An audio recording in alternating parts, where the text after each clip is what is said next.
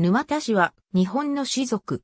主な流れとして次の一族がある中世に上野国利根郡沼田周辺を領した武士の一族。居城は沼田城。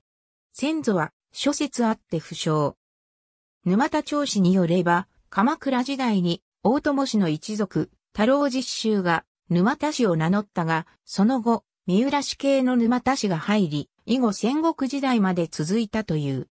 三浦氏系の沼田氏は、三浦安村の自子、影安が、法事合戦で自害せず逃亡し沼田氏の祖となったという。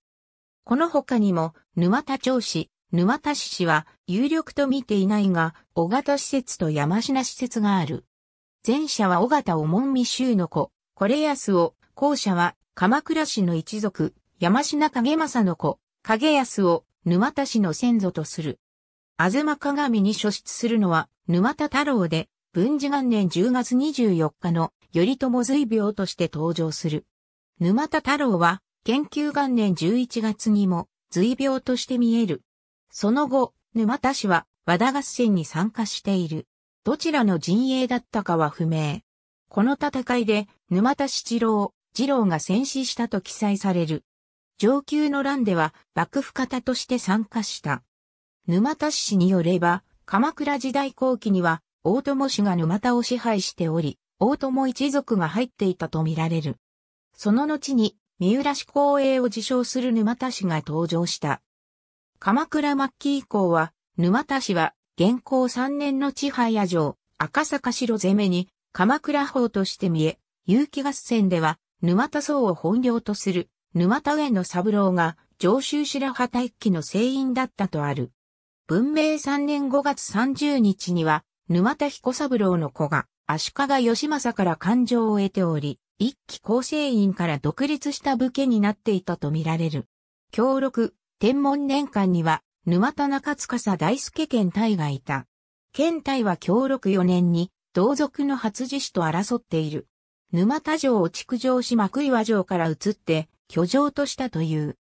三内上杉県政が五北条氏に敗れると、沼田健康氏はこれを迎え越後国へ落ち延びさせたが、隠居していた県隊と当主、八七郎との間で内紛が起こる。